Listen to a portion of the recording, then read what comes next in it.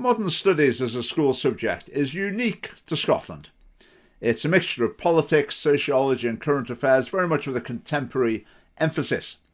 So, why don't they study something similar in schools around the world? Well, I would imagine in other countries they've thought about it and thought it's just too open to political bias.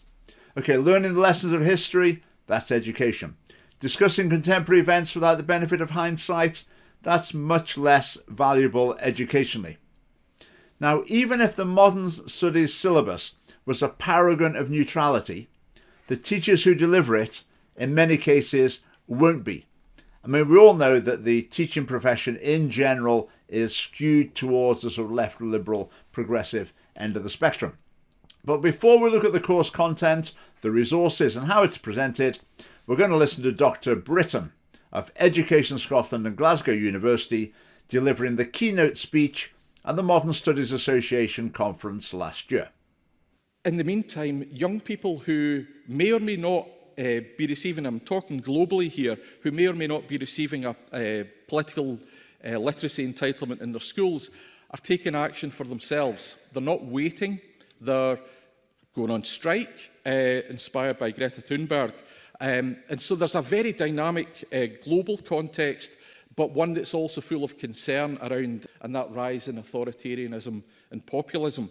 Uh, I also, one, as well as try not to be too nostalgic, also swore I wouldn't use the T word today. Uh, just suffice to say that uh, my recent uh, modern studies uh, students would talk about uh, a certain person as being the gift that keeps giving uh, in the classroom because uh, whatever else you might say uh, about the, the president, uh, there's never a dull moment in terms of modern studies and uh, I think there's a role for modern studies in uh, promoting voter registration and again I know many of you will be involved in that agenda but that should actually be at the core of, of what we do uh, in including the Votes at 16 agenda. Uh, I think some of it is about channeling the, the righteous anger of young people uh, in uh, positive directions. Um, when they look around and see the state of the world, uh, I think increasingly they're, they're not putting up with this idea that, well, young people will sort that out. Uh, that, you know, and you defer the responsibility for environmental catastrophe to the next generation. They're actually saying, and that's one of the really interesting messages that's coming across from young people is, well, no, actually, it's not us that have caused this. It's you, as in the adults. Uh, so channeling that anger and showing that there are still ways for uh, political influence around that. So there are. He's very approving of climate striking kids. Um, he objects to authoritarianism, popularism. In ordinary parlance, people mean by that Trump and Brexit. And then he has a sort of side swipe at Donald Trump. Then he talks about voter registration. They want to get more young people registered and more young people voting. Well, I think you can debate that a little bit. It's well known that young people tend to be more towards the left end of the political spectrum. I mean, is there a special project to encourage older people to vote as well? I mean, they're going to have the, the situation where you have a modern studies lesson in the morning, then you go and vote in the afternoon at age 16. He also says that the teachers should be behind the votes at 16 agenda. Uh, why? That's a political issue. Why are you taking a stance on it? Um, just to clarify, in Scotland, 16 year olds can vote in parliamentary elections. In the UK, uh, they can't. In, in UK elections, they can't. Uh, but why should that be something that modern studies teachers are promoting? And then lastly, he talks about the righteous anger that young people have against adults because we cause all of the world's problems, uh, such as climate change. So there from Dr. Britton, we have unabashed political partiality on display from the man from Education Scotland. Did we expect anything else? Well, no, not really. So with modern studies, the problem's deep. First part of the problem, the choice of topics that they put on the syllabus. If you asked the Green Party to come up with a set of topics to put on the syllabus, they would come up with what they think's important. If you ask me, I might come up with a different set of topics to put on the syllabus.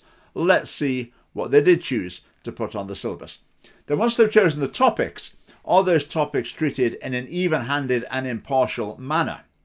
Is the syllabus neutral? The teaching resources used what do they look like? Well, we're going to have a look at that. Then the icing on the cake, how is it actually taught by the teachers? To what extent are teachers biased? Well, we're going to have a look at that as well. Some teachers have helpfully been putting their lessons on YouTube during the lockdown. So that gives us a bit of insight, but we'll see more of that towards the end. Now, when we're talking about the syllabus for modern studies, it's not very creative actually. It's basically the same at every level. For National 5, for Higher, for Advanced Higher, they treat very similar topics. And it's basically three parts. There's a part about democracy, how Parliament works, uh, the job of MSPs, MPs, etc. There's a section about social issues, which is either crime or social inequality. And then there's also a section about international affairs. Now, my job in this video is to convince you that there's a problem of bias in each of these areas. So I'm going to start with the Modern Studies syllabus from SQA and look at some of the general points that it makes in the documentation. Our candidates can develop their political literacy and citizenship skills in the following ways. Writing a letter to a local or national representative, visiting a local representative at their surgery office, in other words, the same part of the course is to write let a letter to your MP, to your MSP, or whatever. So basically, they're teaching them political activism. To be a political activist is part of their education. And I think that is not right. Let's look at the last thing here. Uh, by examining social issues, either within the social inequality or crime and the law areas of study, candidates develop an understanding of the issues of diversity and equality. Now, develop an understanding. Do they really mean develop an understanding? No, they don't really mean that. What they mean is swallow the philosophy that normally goes under the banner of equality and diversity. Here's another section. Whatever the international issue taught, it should be possible to have a focus on rights within that issue. The United Nations Convention on Human Rights and the Convention on the Rights of the Child would be ideal documents to use here. Candidates could be issued with a full list of the rights of the child and asked to identify the rights which they felt were most important for the issue they are studying. Again, I would disagree with that. I think human rights have a place. They've also got a lot of problems associated with them. Generally, people on the left of politics are very keen on human rights. People on the right are a bit more sceptical. But they're saying in Scotland, you should be looking at every issue through a human rights lens, no matter what it is. And that's biased. Active participation in global issues could be highlighted through school support for developmental charities, involvement in environmental projects, or increased awareness of the role of environmental and rights pressure groups. In other words, it's encouraging the teachers to introduce pupils to various pressure groups and political activist groups. And not any old ones, but environmental and human rights ones. That's not the full spectrum, so it's directing them to those with a particular political outlook. Right, so following up on that, let's see which organisations are featured in the textbook. Amnesty International, pro-abortion, pro-prostitution organisation, would disagree with them on many things. That's in the textbook. Uh, Scotland Against Criminalising Communities, that's an organisation that opposes sort of anti-terrorism measures. Pupils are talking about Liberty, again, a very progressive, liberal, left leaning uh, organization. World Wildlife Fund, uh, again, another environmental charity. Shelter, fair enough. Uh, Scottish Society for the Prevention of Cruelty to Animals. Uh, CND. Greenpeace. CND logo in the textbook. There's another animal rights charity. It says protesters at Faslane against uh, nuclear weapons. Now you may be saying here, oh, I've just picked out those ones. I haven't just picked out those ones. That is the whole lot. If you can show me any examples in modern studies textbooks where it refers to campaigning groups that would be on a different wavelength to those, well, I'd be interested to see them. For the moment, it just looks like the textbook authors have written to the Scottish Green Party and said, please give us a list of your favourite organisations and we'll put them in the textbook. So look at the syllabus itself. One of the sections is about democracy. How does the political system work? How do the parliaments operate? Now, obviously, that's a sensible thing to study, and in theory, that's politically neutral. But even in this section, you can see SNP think creeping in. For example, about representation, the role of MSPs. Fine. Point number two, representation of women and minority groups. It's as though the SNP have written the syllabus, isn't it? So what does the textbook include? gender equality in the Scottish Cabinet, When she was elected as First Minister, Nicola Sturgeon pledged to put gender equality at the heart of the government. She announced her first cabinet with a 50 50 gender balance in November 2014 and maintains this balance. Nicola Sturgeon said her cabinet was a clear demonstration that this government will work hard in all areas to promote women, to pr- create gender equality, and it sends out a strong message that the, that the business of redressing the gender balance in public life starts right here in government. I mean, the SNP may as well have taken out an advert in the textbook to put that in. So the syllabus raises the issue the SNP would like to be there, and then the textbook effectively like publishes a Nicola Sturgeon advert in it. No alternative view, no counter perspective, just straightforward promotion of Nicola Sturgeon in the textbook. That's from National 5. Right, here's another section from the textbook, a tiny little bit about tax and let's see what it says. So it talks about the fact that the, the Scottish government changed the tax rate slightly a couple of years ago. Let's listen to the last sentence here. This means that the Scottish government has more money to use for devolved areas and that the lowest earners now pay less tax than their counterparts in the rest of the UK. So it's just win-win, isn't it? No discussion of any disadvantages of the changes the SNP made, just the SNP's made these changes and there's one benefit, and not only one benefit, there's two benefits of it.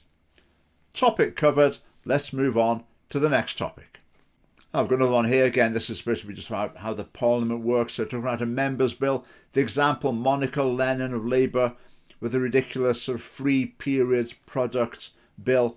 And again, it describes it in glowing terms, no counter argument at all, not even the hint that there might be any problems or any reasons not to go down this road. So Monica Lennon, again, she may as well have taken an advert out in the textbook. Ah, so talking about the political system, various aspects they could talk about. Trade unions gets a massive amount of space. So lists of different trade unions. Uh, this is a list of different types of industrial action that can be taken.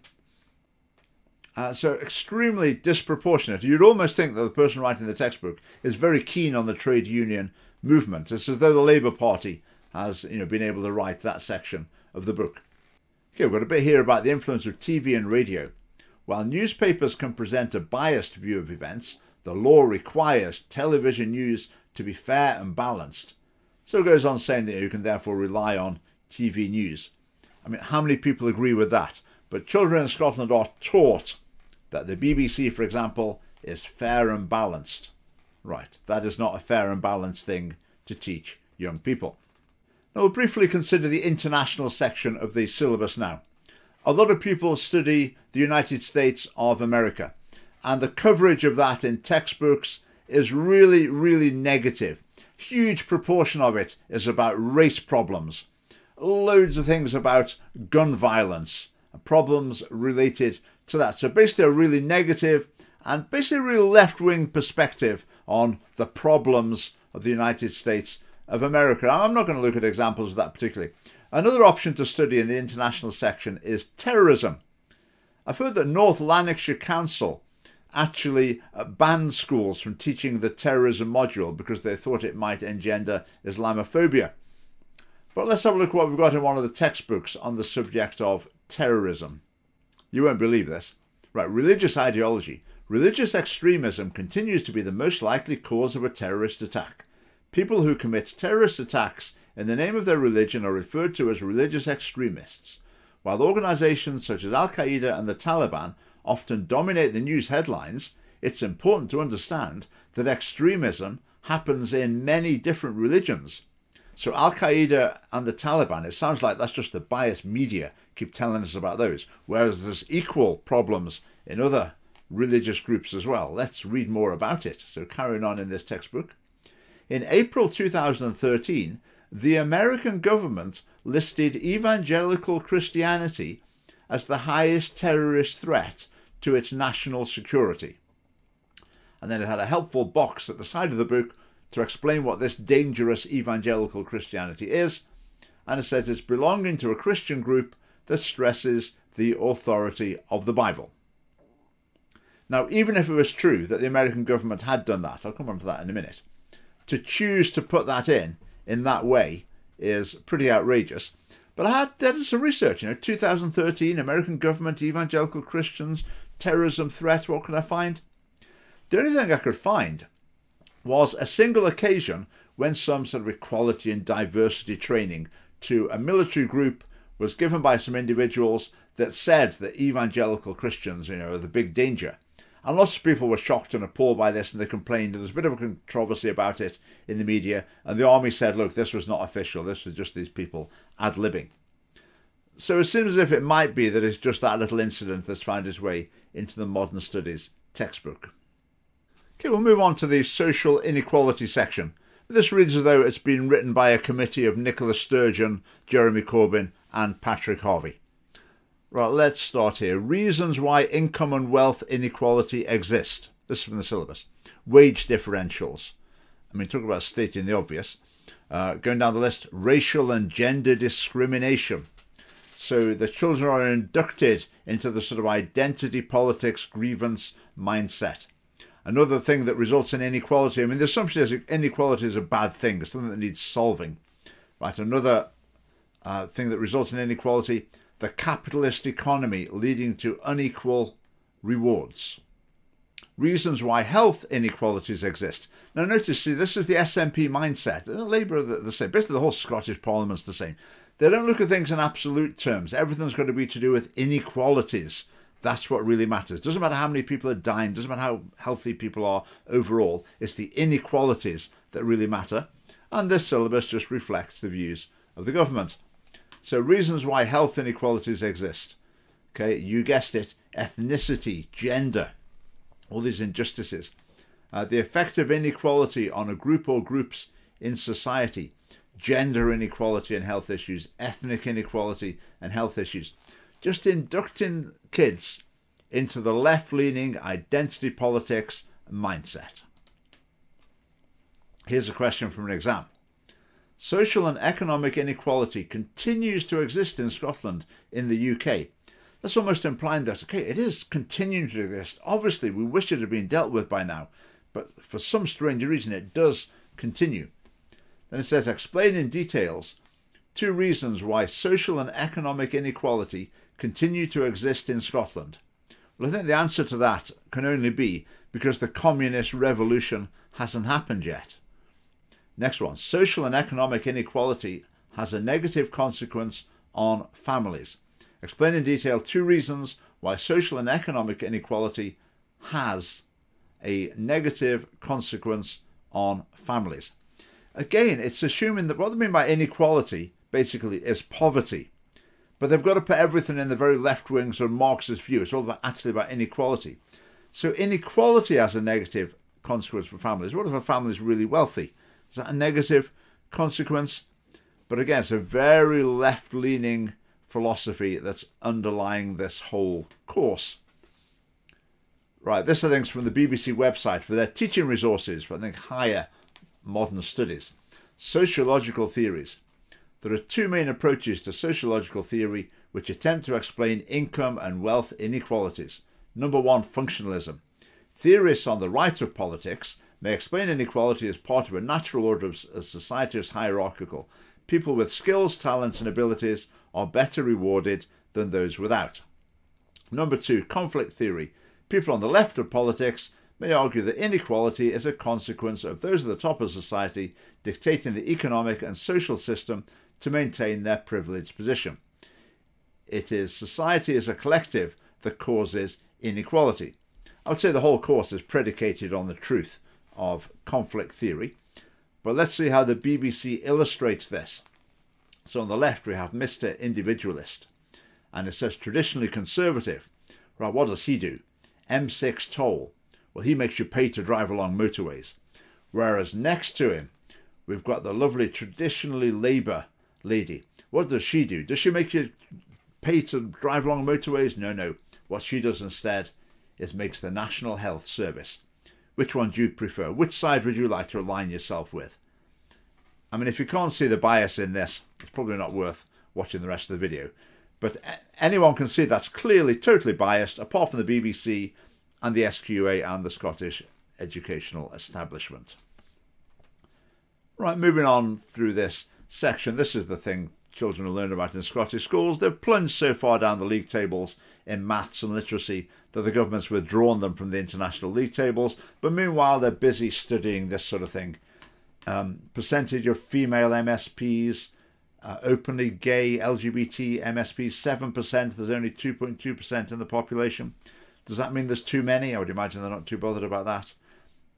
A privately educated, proportion in the parliament, proportion in the population. Again, just the sort of thing someone of a left leaning political persuasion would want young people to be learning about. Another table about the number of female MSPs. Right, how about this bit? Women's traditional domestic responsibilities lead them to suffer higher levels of anxiety and depression. In other words, being at home, being a homemaker, looking after your own kids leads to anxiety and depression. Therefore, the mission of society must be to rescue mothers from this fate for the sake of their mental health. No alternative view, no questioning about that. Unbelievable. Right, here we've got another SNP advert in the textbook, talking about the best start grants that are given in the uh, UK and in Scotland as well. In Scotland, you get a slightly higher payment for the first child and subsequent children if you're uh, relatively poor. They've got an account here from Con- Connie Rumsby, mother of three from Glasgow's baby is six months old, and she said, well, you can guess what she said. Oh, she thinks it's really wonderful to have this extra money. Absolutely fantastic. In fact, that quote is actually from the Scottish Government website. So the textbook quotes glowing reviews of SNP policy uh, from the government's website and sticks them in the textbook to teach children how wonderful the Scottish SNP government really is.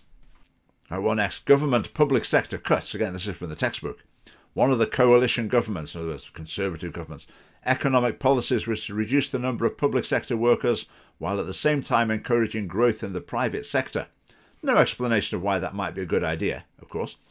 This strategy had a detrimental impact on female employment. More women than men work in local government and other public services, and the extensive cuts to council budgets has led to a significant reduction in staffing. Again, completely one sided, could have been written by any one of the feminist organisations funded by the taxpayer in Scotland. The other thing with this is the Scottish Conservative Party haven't got the wit to realise that the education system has been used to turn people against them.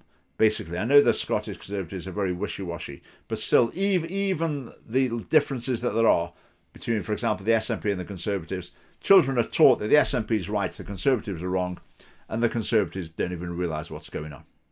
So we've got a table here about different proportions of boys and girls studying different subjects.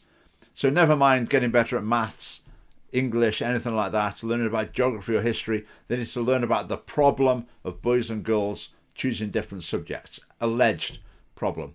Well, it looks like modern studies is part of the problem. Far more girls than boys choosing it. So maybe ditching modern studies might help to solve that so-called problem. Right, more from the textbook, again inducting them into the sort of hard left ideology. In March 2018, Professor Peter Hopkins rejected claims that Police Scotland was not institutionally racist, saying racism were saying racism were present. Okay, a bit more time in the English might have been better. Throughout Scottish society, culture, and politics. So a box there explaining what institutional racism is. And then it's about um, Scotland's stop and search statistics revealed everyday racism. The figures had revealed that ethnic minorities are four times more likely to be stopped by the police. Right? Who wants to be focusing on these issues? People on this are identity politics obsessed, left of politics. So if that's what they want, this is what they get in the textbook. Some more a straightforward feminist indoctrination here. This audit does not reveal pay discrimination, which is illegal, but the reality of the glass ceiling. No debate about that. Is it real? Isn't it real? I mean, people, women get to the top of all sorts of organisations, but no, the reality of the glass ceiling.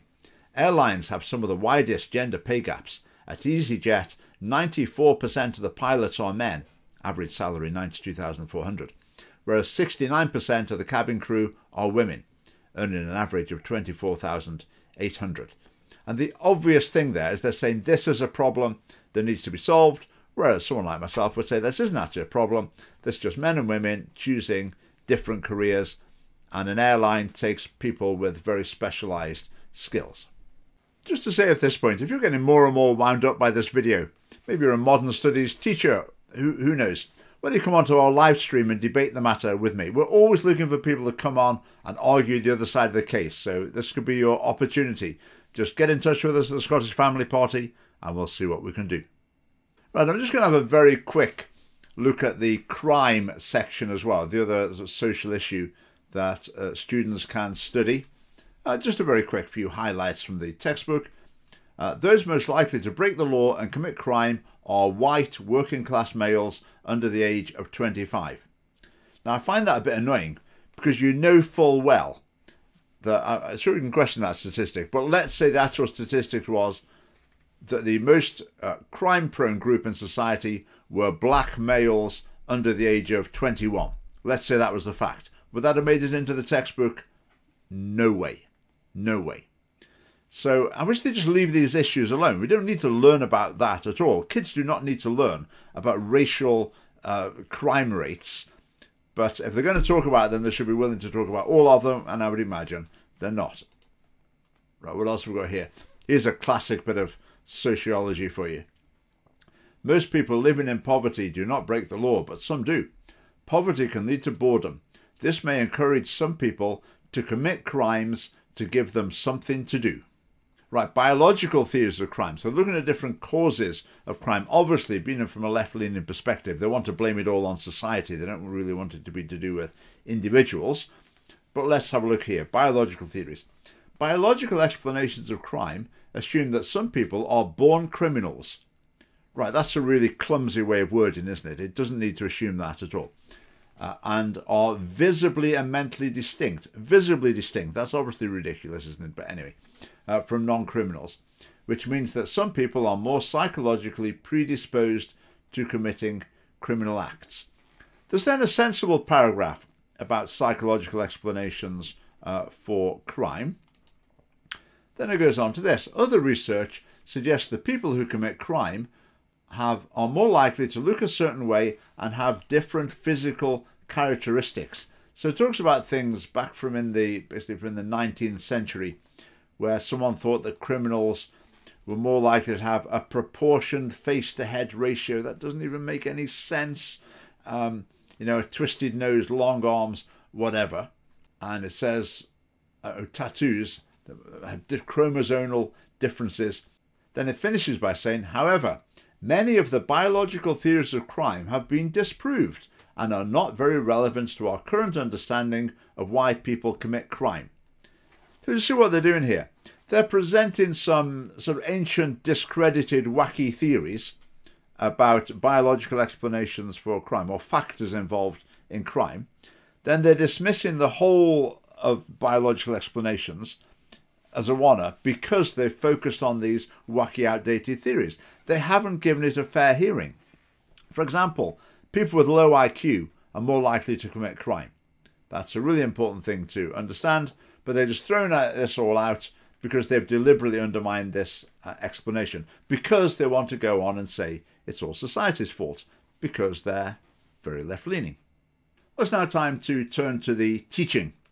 Now, normally in the normal run of things in a school, it's against the rules to film your teacher. So we hear all sorts of stories about teachers being biased uh, in their political views they're presenting to classes but we don't normally get the the solid evidence. However, during lockdowns, a lot of teachers took to filming themselves and put it on YouTube. So I found some uh, modern studies lessons that we're going to have a look at here. Now, the teachers presenting this, I would imagine they're completely oblivious to the fact that they're being completely biased in their presentation because they live within the Scottish educational bubble and it's what the syllabus says, what the textbooks say, it's what all the colleagues probably say. So they're, they're probably not aware of what they're doing. But in any case, let's have a look at this.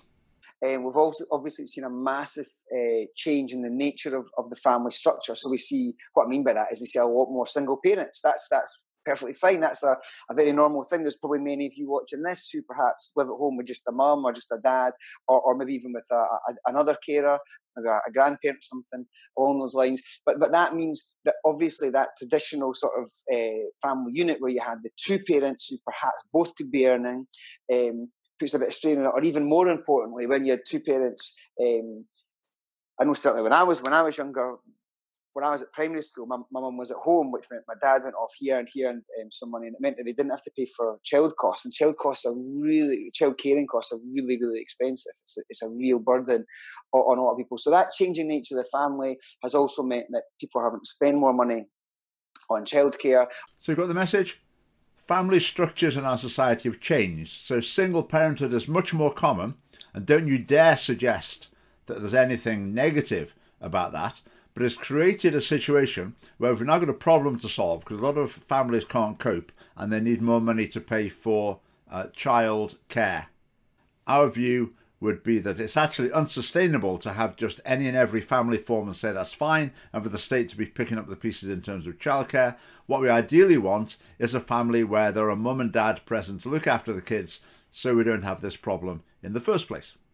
I know that 2% might seem like a really small amount. Um, but when you look at that on the scale of a population, if you've got five million people living in Scotland, um, which would mean about 2.5 million women, two percent is still quite a lot of people. So it's still a significant number. So the teacher here is obviously getting into a stride about all the injustices that women suffer in society, and here she's got a statistic that 20% of women and 18% of men live in poverty, a difference of 2%. And in those statistics, that's fairly trivial, but she's really wanting to emphasize it and make it as dramatic as possible. So it's no surprise, really, that if women suffer for from inequality throughout their lives, it's no surprise that when they get to an older age that they suffer kind of even more from that. Yeah, I mean, the, um, the only thing to, to, not not to not to jump in and sort of start some sort of gender-based argument, but the only thing I would say about that is, is obviously, as we will see, that that is also a, a, a, as a result of the fact that there is a lot of more older women who live True. to outlive yeah, the men. You know, like, there is there, there is a there is an imbalance in this country in, in terms of life expectancy, and we men uh, suffer at the, at the, end of that. But it, it's not enough yeah, actually. No, absolutely. It's, it's a very good point. And then next, the male teacher comes back with a sensible point, but he's very apologetic about it, obviously. And at, at the end, he sort of throws it away. And, and, and you know, I still agree with you. It still obviously is very unfair on women. I mean, it just shows the culture that people are operating in. The last one here, so 45% of single parents, the vast majority, so 90% of single parents or women are living in poverty. So um, yeah. we'd mentioned before that obviously single parents are more likely to live in poverty. We're just crying out for the point to be made. How can we reduce the number of single parents then if it's such a problem? But no, that would be absolutely taboo.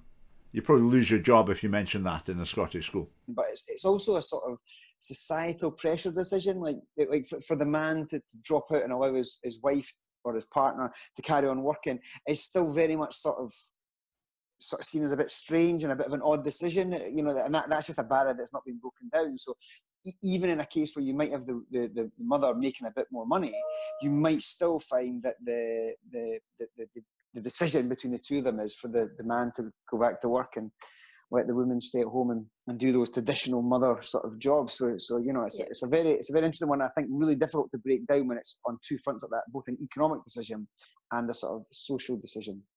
So generally, mothers and fathers choose that it's the mother who's going to spend more time at home with the kids. Often that's what the mother wants as well. But as far as these two are concerned, this is a problem that needs solving. Just like the SNP thinks, by a remarkable coincidence. You know, you were saying earlier that generally girls do better than boys at school. Uh-huh. And that and that carries on right through to university. If you look even at the number of first yeah. degrees getting graduated, it's, it's women are better. And it's oh, as you say, it's just well, let's not, let's not go there. Uh, Did you catch that? He said women are better. And she said, oh, well, we know that. Ha ha ha ha ha. Joke, joke, joke, joke. If someone tried to make us comment in the other direction, no matter how justified it might have been in some particular area, again, the teacher would have been out of their job. But then, then it's, it's once they enter the, they enter the workforce that that's, yeah. seems to their, their progress seems to stall, and the male the males seem to overtake in terms of uh, earning power. So yeah, yeah. and I think the last big um, reason for that is the gender pay gap. What it means is, generally speaking, when you take into account all the things that women are maybe not able to do, you've got far more men in higher paying roles, far more men in promoted positions, and even the type of work that women tend to go into, um, the jobs that pay more tend to be the science, technologies, all, all those kind of STEM careers, unfortunately for us, pay a bit more. So here we've just got a straightforward lesson in sort of feminist dogma. No discussion, feminist dogma being taught as fact.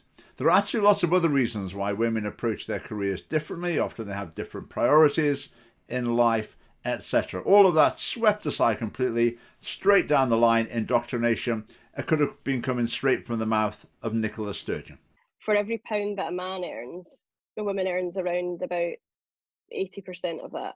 Um, and I think there's a lot. It's never never funny to explain a meme without the meme actually being there. But there was a lot of memes surrounding the furlough pay that the government are doing at the moment. So what the government are doing at the moment for people who can't work is they're paying 80% of their wages. So quite a lot of people were saying, oh, well, that's men having to experience what it's like to be a woman. So uh, just another dose of classic feminist grievance mongering. It's this idea that women can go into a workplace, they can do well, but for all the reasons that we've just been highlighting, they perhaps don't make that breakthrough into the, into the sort of top level of management. And let's be realistic, the top level of management is for the, the highest wages are paid, and, and it becomes a becomes a real problem. And it's something that has been recognised, and people are trying to sort of break down, and people are trying to fix.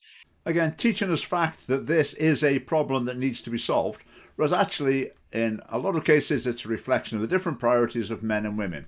I mean, think in your life. Think of women you know who've been really successful in their careers. Do they pursue that to the bitter end right through their 50s and 60s? Or do they often get to the stage where they think, I've actually had enough of this, I want to put my energy into something else?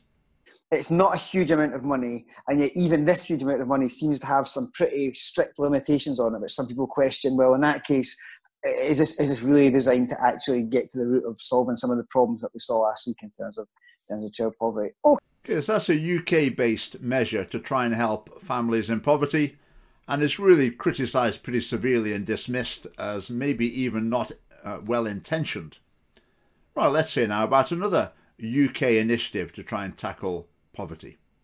In the paragraphs that you're going to formulate in the next few weeks, we'll be saying things about how bad child poverty is. And you just need to know, first off, that this is something that tries to give people more money. So, child tax credits trying to give people more money. However, you can actually pick up even more marks when it comes to by pointing out some of the flaws, I would say, in the system. So we've got there, you can earn even more marks if you can slate it.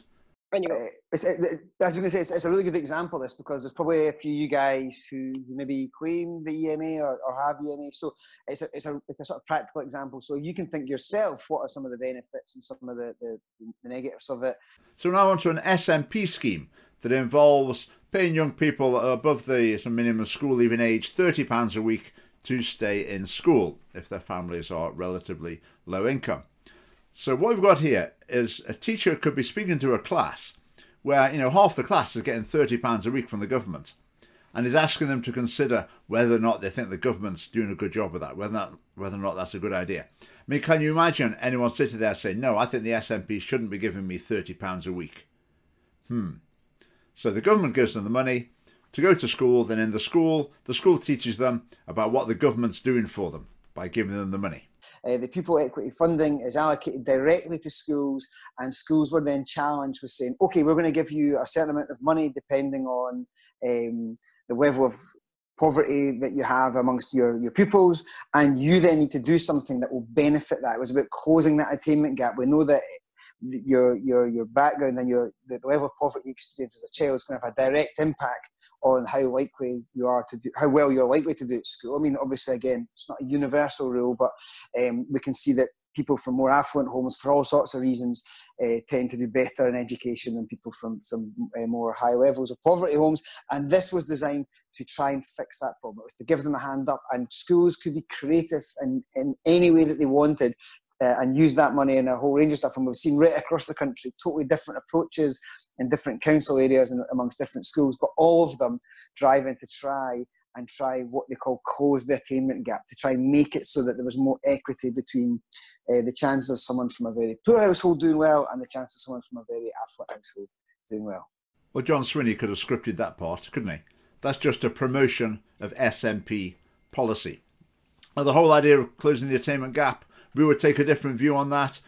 Not even the faintest consideration that maybe this target is an appropriate one for schools but it's just like a, an SNP party political broadcast. We are looking at three different um, three different government responses today, which have tried to tackle the problem um, of women suffering from income and wealth inequality and social inequality. So that's basically the glass ceiling is just the word for a kind of an invisible barrier that stops women progressing from um, from lower to more promoted positions any organisation, so any company, business that had more than 250 employees um, had to publish their gender pay gap. So they basically had to say, our gender pay gap is 18, our gender pay gap is whatever percent it is. Um, so lots of big companies did that. Some came out well. You had Channel 5 when they reported theirs, they had a gender pay gap of 2%.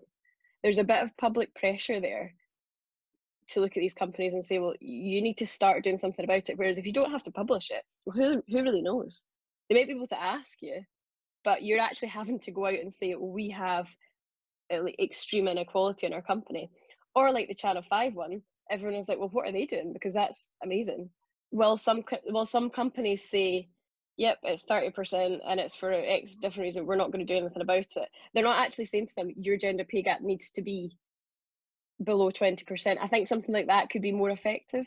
Yeah, so what you suggested maybe like setting a target saying, as well as reporting this, you now need to get to like 20%. Now that you can't have a, yeah. you can't have a big one. Okay, yeah, I think that's true. I, I played quite a long section there. But you can see there, there's no pretense that this is some sort of balanced educational approach. This is just the female teacher here is just preaching her message. She's expressing her personal opinion to the kids as part of the syllabus, which is exactly what the syllabus is intended to engender. Um, so the idea behind this Scottish Government scheme is basically to give more free hours to people in order for women to be able to go back to work um, sooner than they previously would have or for more hours. And if you can go and work, I don't know, if they're getting 600 free hours per year, if you can add that to the amount of hours that you're working, then as a female that makes you a little more equal in the workplace. Would you agree? Yeah, no, absolutely. It's, and so it absolutely maximises their opportunity to try and make more money and helps reduce that, that gender pay gap. They can they can earn they can work more, they can earn more over a lifetime, and they can hopefully reduce um, that that pay gap that exists currently between themselves and males. Yeah, no, absolutely. I was going to say, like, even my brother and his wife, uh, my brother's wife only works part time. They've got two children, and based on this, she's been able to expand her hours quite significantly. So as a result, she's now gaining more experience. She's now a better chance of getting promotions, and she's going to go up and hopefully earn earn more money as the, her um, working life continues. And the other side of the argument, the argument that it shouldn't actually be the mission of the government to be separating children from their mothers at the earliest possible stage. The argument that actually being with mum in the early years might actually be best for kids. The argument that a lot of mums actually want to be with their kids, so it's not fair to be taxing those families in order to subsidise the ones where both parents want to work. All those other points, not even vaguely considered. The two teachers here, they may as well be wearing SNP rosettes. And we're asking you to find evidence that shows that ethnic minorities suffer from uh, income and wealth inequalities. You've learned quite a lot of the reasons for the other groups, and some of them are very similar um, they do revolve in a, in a way around discrimination and things. So we want you to have a think about why that is. Well, of course, you can't preach feminist grievance mongering for the whole course. You need to move on to another area of identity politics. So then they're going on to race. Notice the way it's introduced. Your mission is to find evidence of discrimination and inequality. So the whole thing has been set up for the identity politics, grievance mongering mindset and the young people have been led through this on an industrial scale in Scottish schools. Just before we leave looking at the teaching of modern studies, Well, we had a few messages from people about their personal experiences. This is one from a, a very recent pupil of modern, modern studies. The teacher we had was openly very left wing. He took part in pro EU People's Vote marches in London on several occasions. He was also very open about his political opinions. When these students pushed him for explanations on things, he would deliberately phrase explanations so that they were very left wing biased. It felt like he would try to convince others of his opinions before they got their own opinions. And this is from a parent. Both my daughters took Nat 5 Modern Studies and it was pretty clear that the course was about pushing liberal progressive ideology. Parents Night revealed the open biases of the teaching staff. Important topics such as violence, violence, immigration law and the political process are all taught from a purely left-wing perspective. America is studied from a completely Democrat point of view with no attempt at any balanced discussion. I've had several debates with my daughters over dinner about topics they've been taught that day, and it was clear that alternative or opposing views were never considered or portrayed in very simplistic, stereotypical ways. So to conclude, number one, the modern studies syllabus topics reflect a left liberal progressive agenda. Number two, the syllabus and resources fail to address these issues in a neutral manner. Number three, teaching reflects the left liberal progressive views of teachers as is intended. Now, the educational establishment in Scotland, Education Scotland, GTCS, who insist that teachers hold these sort of views as well, uh, the SQA, universities, schools, teachers, through the whole of that establishment, I'm not aware of any dissent about the indoctrination through modern studies. But it's exactly what the SNP want. What they've created is a situation where if you say to a young person, you know, I think the gender pay gap actually reflects natural differences in priority between men and women. What they hear is something like you think nitrogen's in the wrong place on the periodic table, or you think the First World War ended in 1923. Because SNP political ideology is taught in schools as fact. Now, the strategy of the Conservative Party seems to be something like oh well, we better just go along with it and say the same things as the SNP and then we'll be okay. But this is a serious problem. And we need to put Scottish Family Party MSPs into Holyrood where we would expose the problem and put real pressure on the government to stop using schools as ideological training camps. Now, as I said partway through the video, please someone come onto our live stream and debate this with me. Someone come and defend modern studies. I'd love for that to happen. But to be honest, I think it's pretty unlikely, but if there is someone who'll do it, that's great. So all that remains now is for you to join the Scottish Family Party via the link below. Thanks for watching.